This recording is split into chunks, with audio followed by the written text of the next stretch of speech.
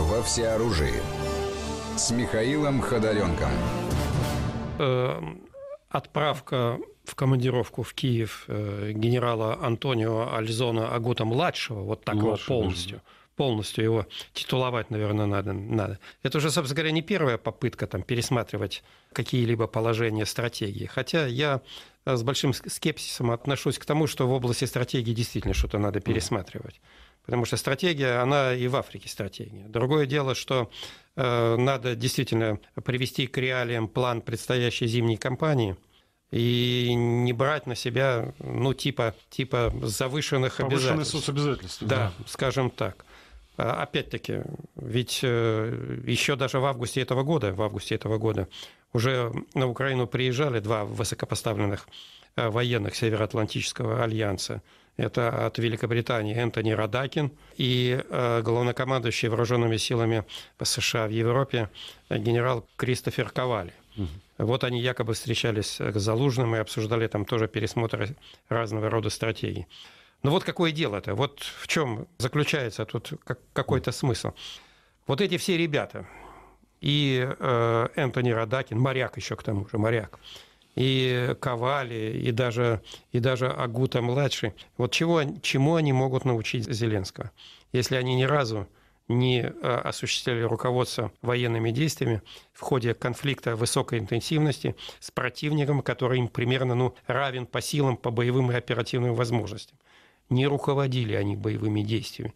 Они там избивали либо Ливию, либо там афганских маджахедов в основном бомбили, либо там что-то в Ираке там опять-таки кого-то бомбили. А так, чтобы встретиться, как говорится, с противником равной весовой категории, у них такого не было. Чего, чему, вот что они могут подсказать Валерию Залужному, к примеру. И тут еще надо что сказать, что вот по, по той же самой публикации в газете «Нью-Йорк Таймс» пришли к выводу, что типа надо переходить к обороне, укрепляться и развивать оборонно-промышленный комплекс Украины. Вот скажите, вот чтобы произнести эти слова, вот что надо быть? Гельмутом Мольтке млад... старшим или младшим, или Альфредом фон Шлиффеном. Где тут, какие тут стратегические дарования было при этом проявлено? Чтобы мы, например, прочитали и, под...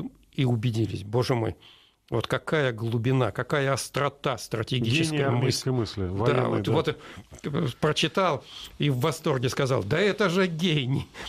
Ну вот как-то такие мысли вот после этого, переход к стратегической обороне, но он и так по факту происходит, потому что э, э, наступательный потенциал исчерпывается, потери в людях, потери в материальных средствах, их расход, ну надо же восполнять, тут, тут, тут эти паузы оперативные, они ну, по неволе возникают. Так что это и без этих советчиков бы Украина к этому пришла. Но опять-таки окапываться, ну, а кто об этом не знал? Ну а что касается э, ускоренного развития украинского оборонно-промышленного комплекса. Но вот тут у меня большие сомнения э, вот в реальности подобных советов. Почему? Потому что, ну, во-первых, даже в благополучные советские времена на Украине значительный спектр вооружений военной техники просто не производился. Да ведь по большому счету и все конструкторские бюро размещались в Москве, в Санкт-Петербурге, других э, крупных э, городах на территории Российской Федерации. Да, безусловно, кое-что в Киеве было, там есть определенные компетенции ну, например, в плане того же самого э, баллистических ракет, ну, я имею в виду Южмажный, Пропетровский, э, в реакционной технике у них там были, Харьковское э, конструкторское бюро танковое, которое занималось бронетехникой. Определенные компетенции есть, но далеко не в тех объемах, которые нужны для производства вот современного вооружения и техники. Опять-таки нужны что? Технологии, материалы, специалисты. А когда все это еще находится под ударами воздушно-космических сил Российской Федерации и военно-морского флота, попробуй ты организуй там э, крупносерийное производство. И западных специалистов не завезешь, они э, скажут, нет, мы туда не поедем. Да, ну, опять-таки встает вопрос о, о передаче э, высоких технологий. Американцы на это дело ну, крайне неохотно идут. Так что вот им весь совет такой, но еще раз говорю, что это на уровне, на уровне игры зорница. Переходите к обороне и окапывайтесь. Ну, как будто они и этого раньше не знали. Так что это даже вот звучит как-то э, даже в качестве ну, такого, ну, на редкость банальнейшего совета. А ведь там его какие-то лучшие умы поехали, правильно, советуют там. Вот. По большому счету им не столько советы нужны вот так э, вооруженным силам Украины, военно-политическому руководству, э, сколько массированные поставки вооружений, военной техники и финансирования. Но вот с этим-то как раз у них и большие-большие проблемы. Да, Зеленский побывал э, в Вашингтоне, встречался и с сенаторами, с конгрессменами, и с Байденом э, встречался. Но если законодатели достаточно холодный прием оказали Зеленскому, то Байден делал вид, что да, все хорошо, и э, сказал, что мы, вот я сейчас подписал указ о выделении 200 миллионов долларов. При том, что э, в планах, значит, было выдать 60 миллиардов долларов. А вот 200 миллионов это что, вот как э, Сергей Александрович Михеев говорил, на мороженое получается? Вообще вот если в боевых действиях измерять, насколько э, масштабен вот очередной пакет американской помощи киевскому режиму? Все познается в сопоставимых ну... ценах. Что и сколько стоит. Э, например, э, стоимость самолета, мы таким более понятным вещам перейдем, то есть крупным. Стоимость, например, э, истребителя пятого поколения F-35, ну вот американцам удалось ее снизить до примерно 100 миллионов долларов. Ну, в, это, в, это, в этом диапазоне колеблется его цена. А как ни странно, например, стоимость истребителя F-16 блок 70 дробь 72, она даже выше этого и может достигать 150 миллионов долларов. То есть на один самолет. Что касается современных танков, э, основных боевых танков, то примерно танк стоит 6-8 э, э, миллионов долларов. То есть это примерно на батальон танков в самом лучшем этом виде. Что касается стоимости некоторых ракет, то, например, зенитно-управляемая ракета к комплексу ПАК-3 «Патриот» ну, стоит порядка 3 миллионов долларов. То есть, по большому счету, ну, ну вроде бы что-то выделил. Но на самом деле, э, ну, наверное, образно говоря, на первый час боя. Вот скажем интенсивного так. такого, да, интенсивного. И э, да ведь и дело это по большому счету даже не в деньгах. То, что э, Конгресс рано или поздно проголосует за эти 60 миллиардов долларов, вот как-то у меня особых сомнений в этом нет. Но, скорее всего, это уже не произойдет. Да, тут все дело в сроках, и говорят, что до Нового года конгрессмены уже вот на 90% этот пакет помощи не рассмотрен. Но он не стоит даже в повестке дня у них. А теперь там пока то, пока первое, пока второе. Вполне возможно, что если и проголосуют, то во второй половине э, января. А какая-то реализация начнется только уже в феврале. То есть вот где-то месяца два с половиной-три вооруженным силам Украины предстоит воевать вообще без какой-либо американской помощи. Тем более, опять-таки, речь-то идет о только выделении денег. А на войне ведь э, деньги нужны разве что в виде денежного удовольствия военнослужащих. А так-то на войне нужны совершенно другие вещи.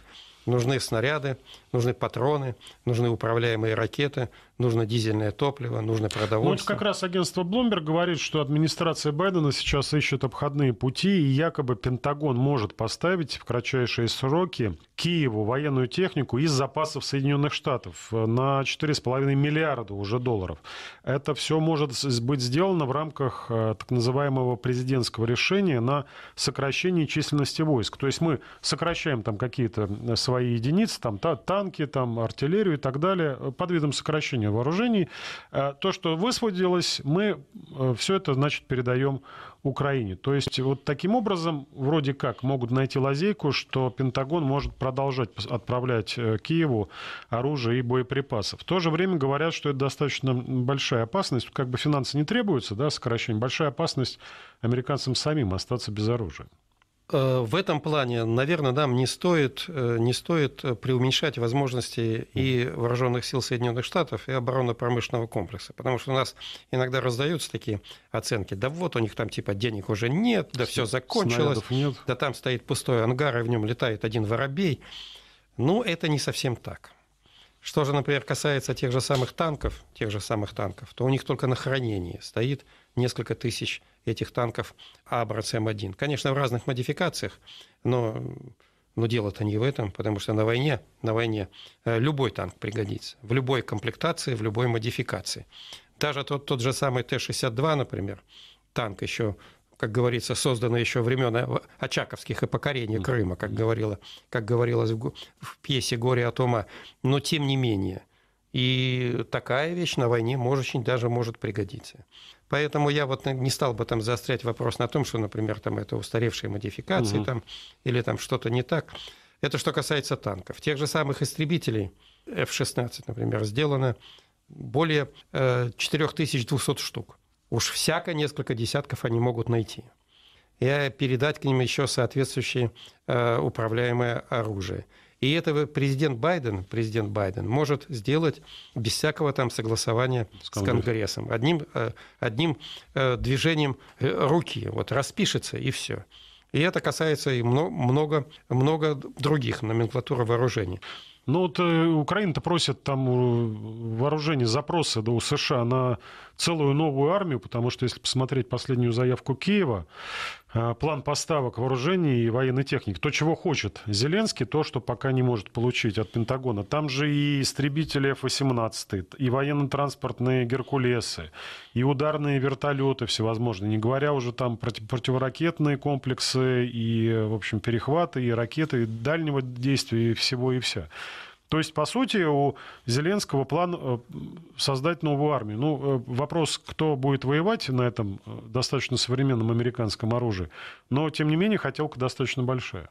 Ну, с одной стороны, в общем-то, вот эта заявка, заявка, она вполне логична. Действительно, вот современную войну вести без частей и соединений ударных и транспортно-боевых вертолетов, ну, в общем-то, достаточно трудно и военно-транспортные самолеты э, различных классов крайне нужны для обеспечения служебной деятельности. Мы, Зеленский на конференции с Байденом говорил, нам нужно господство в воздухе, дайте нам самолеты. Э, ну, с, с одной стороны, опять-таки, а кто об этом не знает? Действительно, э, ну, хотя бы не господство, хотя бы уравнять шансы. Это все действительно так. Поэтому я вот лично придерживаюсь того мнения, что да, сейчас для вооруженных сил Украины, Украины в целом в плане финансирования и поставок вооружений военной техники наступают ну, такие достаточно сложные времена. Но, тем не менее, рано или поздно финансирование будет возобновлено, поставки, поставки опять-таки продолжатся. И вполне возможно, что в будущем, в будущем вот как-то они на эти показатели выйдут. Но, но вот как иногда у нас говорят, в исторически обозримый срок. Но с другой стороны, вот все-таки вот украинское руководство, ну, на мой взгляд, хотя это несколько выходит за рамки э, нашей передачи, угу. но тем не менее все-таки составлено, ну, на мой взгляд, как из каких-то вот э, представителей, скажем так, любительского уровня. И поступки они, которые совершают, казалось бы, ну, концентрироваться на главном. Это мы не в том плане, что мы им советуем, mm. да упаси бог. Действия просто их непонятны. Например, ну, если президент Украины совершает э, визит э, в Соединенные Штаты. Соединенные Штаты – это ну, главный поставщик всего, и финансов, и вооружений, и военной техники, всех возможных материальных ресурсов. Зачем ты полетел в Аргентину? По пути, что ли? Или в Бразилию? Тем более в Бразилию, когда прилетел, не согласовал толком с бразильской стороной ну, все аспекты этого визита. Потому что ведь любой Э, вот межгосударственный визит, он, он готовится долго, заранее, э, там функционируют рабочие группы, уточняют все вопросы повестки дня, согласовывают документы. То есть основная работа вот аппаратом осуществляется. Когда встречаются первые лица, но по большому счету они уже не начинают обсуждение что-то э, с голоса или с нуля, потому что все уже необходимые пакеты документов и подготовлены, и согласованы. Прилетели в Бразилию, а там и президента Бразилии нет, mm-hmm. он в другом городе. Он так с ними и не встретился. Несколько часов проваляли дурака, улетели. Вот ну, может быть, и президент Бразилии подумал, не хочу встречаться с Зеленским. Сделал вид, что поехал в другой город на мероприятие. Может быть, даже и так. Но опять-таки, опять-таки, что тут важно сказать? Вот у вас и с оружием так получится наверняка. Поэтому вот все беды, все беды Украины вот современные заключаются в том, что вот руководство страны понабрали там людей, что называется, сбору до сосенки. Несколько раз за последние 30 лет этот политический класс радикально менялся и далеко не в лучшую сторону. И вместо того, чтобы заниматься действительно проблемами исключительно важными для существования своей страны, занимались всякой ерундой. Ну, главная проблема Украины, что не прислушались э, к резонным озабоченностям Российской Федерации, не только Украины, но и Вашингтона, и Брюсселя. И э, пришлось начинать специальную военную операцию для того, это, чтобы... вы, это вы у меня с языка сняли. На сегодня все. Военный обозреватель Вести ФМ Михаил Ходоренок был с нами в этом часе. Михаил Михайлович, спасибо. Всего доброго. Во всеоружии с Михаилом Ходоренком. В этом часе подробности основных событий в материалах наших обозревателей и комментариях экспертов. Владимир Путин назвал полной чушью утверждение, что Россия может напасть на НАТО. Слова Байдена об этом просто фигура речи для того, чтобы обосновать свою ошибочную политику на российском направлении, сказал президент в интервью журналисту ВГТРК Павлу Зарубину. Владимир Путин отметил, у России нет никакого интереса воевать с НАТО ни геополитического, ни экономического, ни военного. Москва заинтересована в развитии развития отношений со странами Альянса. Прокомментировал президент и политику властей Финляндии. По словам Владимира Путина, у Финляндии в связи с вступлением в НАТО возникнут проблемы с Россией. Теперь нашей стране придется концентрировать воинские подразделения в Ленинградском военном округе, заявил президент. Вести ФМ. Владимир Путин будет участвовать в выборах президента как самовыдвиженец. Об этом сообщил секретарь Генсовета «Единой России» Андрей Турчак. Накануне инициативная группа избирателей поддержала самовыдвижение Владимира Путина. Эта встреча официально дала старт президентской кампании. Масштабное мероприятие прошло накануне в концертном зале «Зарядье». Теперь протокол собрания направят в ЦИК, после чего начнется сбор подписей в поддержку выдвижения кандидата. Будущее России невозможно без победы Владимира Путина, и «Единая Россия», как партия президента, направит все силы и ресурсы на ее достижение, сказал Андрей Турчак. Всех нас объединяет одно желание видеть нашу страну великой, безопасной, независимой и развивающейся. Всех нас с вами и все наши коллективы, отрасли, профессиональное сообщество, которое мы с вами сегодня здесь представляем, объединяет один человек. Это наш лидер, президент Российской Федерации Владимир Владимирович Путин. Уверен, что вот такой большой единой командой, командой нашего президента нам по плечу любые задачи, с любыми задачами мы справимся, а сегодня самая главная задача – это наша победа. Победа на фронте, победа в тылу и победа нашего кандидата на выборах, безусловно, станет нашей общей победой, победой великой России. О поддержке выдвижения Владимира Путина на пост главы государства также высказались заместитель председателя Совета Федерации Константин Косачев, президент Федерации хоккея России Владислав Третьяк и народный артист России депутат Дмитрий Певцов. Я уверен, все те, кто себя ощущают гражданами нашей страны, конечно, хотели бы сохранения стабильности, уверенности в завтрашнем дне, ощущения того, что мы живем в безопасности и что нас ждет благополучное будущее. И вот все это, разумеется, связывается с той работой, которая на протяжении уже более чем двух десятилетий реализует команда Путина. И эти достижения, конечно же, связаны лично с тем, что делает Владимир Владимирович Путин. Он наш лидер, он действительно очень много делает для людей, для государства, поэтому и для спортивной семьи, потому что он сам занимается спортом, он является примером не только как политик и экономик, он еще является примером в спорте, здоровый образ жизни пропагандирует, сам играет в хоккей, в другие виды спорта занимается. А нам очень важно через спорт воспитывать молодежь патриотами своей страны, поэтому спортивная семья все поддерживают Владимир Владимирович.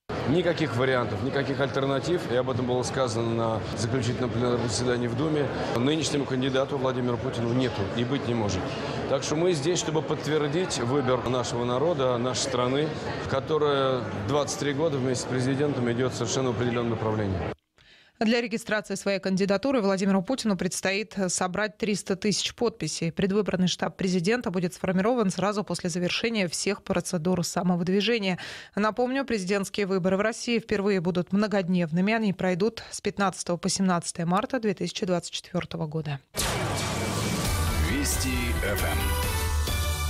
И сейчас к заявлениям Министерства обороны российские военные в ночь на воскресенье нейтрализовали более 30 украинских беспилотников. Дроны были перехвачены и уничтожены над территориями Липецкой, Ростовской и Волгоградской областей. Пострадавших разрушений нет. А в зоне проведения спецоперации наши войска поразили позиции ВСУ на Донецком направлении. Удары наносились по опорным пунктам противника, сообщил начальник пресс-центра группировки «Юг» Вадим Астафьев. Мотострелковые подразделения группировки при поддержке огня артиллерии успешно отразили шесть атак штурмовых групп ВСУ в районах Клещеевки, Красного и Маринки. Нанесено поражение живой силе и технике противника в районах населенных пунктов Курдюмовка, Клещеевка, Андреевка, Васюковка, Раздоловка, Веселая и Маринка. В ходе контрбатарейной борьбы уничтожены 5 минометов 82 и 120 калибров. Средствами противовоздушной обороны сбиты украинские беспилотные летательные аппараты в районах населенных пунктов Старомихайловка и Новомихайловка Донецкой Народной Республики. Всего противник потерял до 125 военнослужащих, три боевые бронированные машины, два пикапа, четыре самоходных артиллерийских установки, в том числе американского и чешского производства, и 122 миллиметровую гаубицу Д-30.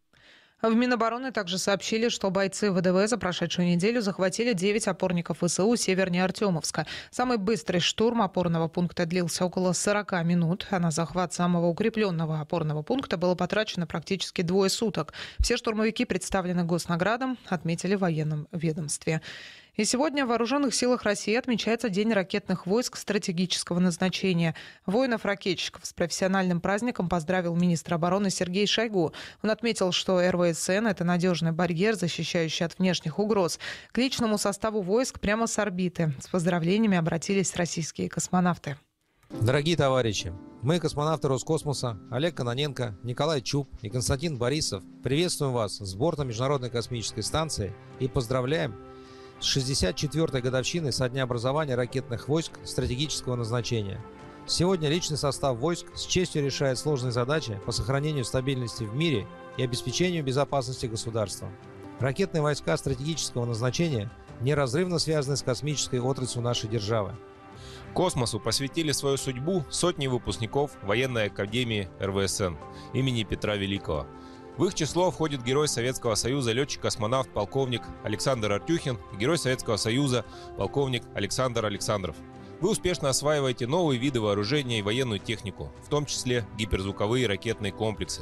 Совершенствуете свои навыки и умения, добросовестно несете боевое дежурство и готовы к немедленному выполнению поставленных задач. Хочется также поздравить и представителей российских научных и производственных коллективов предприятий оборонно-промышленного комплекса. Желаем всем стратегическим ракетчикам крепкого здоровья, счастья, благополучия, успехов в службе на благо России. На сегодняшний день на вооружении ракетных войск стратегического назначения состоят свыше 400 развернутых пусковых установок и более тысячи боевых блоков. Об этом в интервью газете «Красная звезда» заявил командующий РВСН генерал-полковник Сергей Каракаев. По его словам, в составе ракетных войск значится более 60% носителей и ядерных боезарядов ядерных сил России. Вести ФМ. Оттепель продержится в Москве почти всю следующую неделю. При положительной температуре снег заметно осядет, но сугробы не растают и сохранятся до Нового года, заверил ведущий специалист Центра погоды ФОБОС Михаил Леус. По его словам, теперь после русской зимы настанет еврозима. В дневные часы практически каждый день температура будет в пределах э, плюс одного, плюс двух градусов. А, но э, по ночам столбики термометров все-таки будут ближе к отрицательным значениям э, 0 минус 1, поэтому те осадки, которые будут выпадать в дневные часы в смешанной фазе, по ночам они будут слегка подмораживаться. Убавка снежного покрова, естественно, будет, но какой-то катастрофической она не станет, снег останется, его уже очень много и он долежит до Нового года. Ну а преобладающий фон температур на всей рабочей неделе это 1-2 градуса тепла в дневные часы и э, около 0 э, ночные температуры. Скользко, довольно ветрено и сыро. После настоящей такой русской зимы нас на этой неделе ждет визит так называемой еврозимы. Из-за непогоды в России без света остаются более 350 тысяч человек, сообщает Минэнерго. Больше всего отключений в Донецкой и Луганской народных республиках. В Ростовской области на утро воскресенья электричества нет у 15 тысяч человек. На регион ранее обрушились ледяные дожди. Специалисты до сих пор продолжают устранять последствия стихии, проводить аварийно-восстановительные работы. Вести ФМ. Теперь к ситуации на Ближнем Востоке. Ответственность за убийство трех израильских заложников взял на себя глава генштаба Цахал Герцег Халеви. Он пообещал сделать все возможное, чтобы подобное не повторилось. Погибшие израильтяне были похищены боевиками Хамас 7 октября. Им удалось сбежать из плена. Они несли с собой белый флаг, но мужчин застрелили. Израильские военные ошибочно приняли заложников за угрозу. Инцидент произошел в пятницу во время боев на юге сектора Газа. Тем временем Израиль установил насосы, с помощью которых может затопить морской водой систему туннелей Хамас в Анклаве. По крайней мере, об этом пишет Wall Street Journal со ссылкой на американских чиновников. Сами туннели в этом районе – это не просто подземные ходы, это практически целый подземный город, где может находиться огромное количество людей. С подробностями Борис Белин.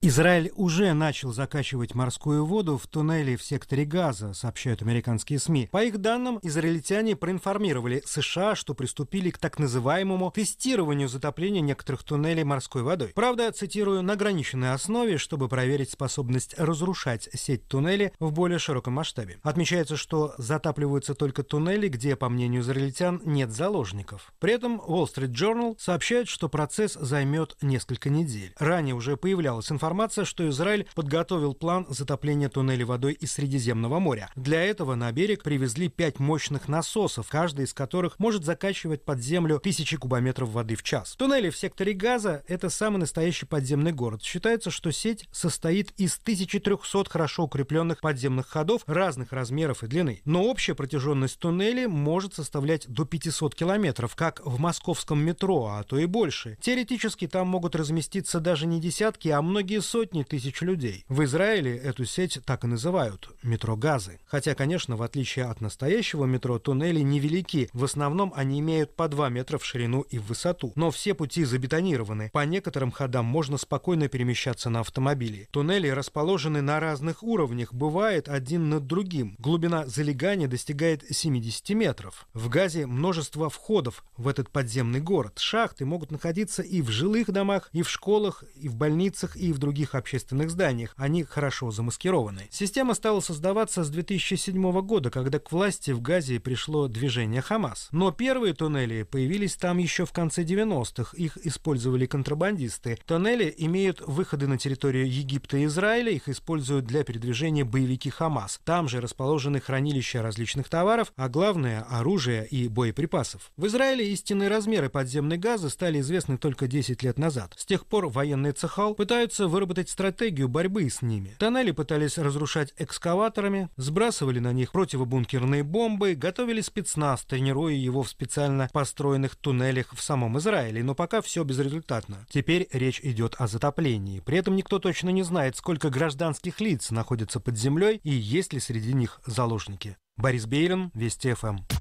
Вести ФМ.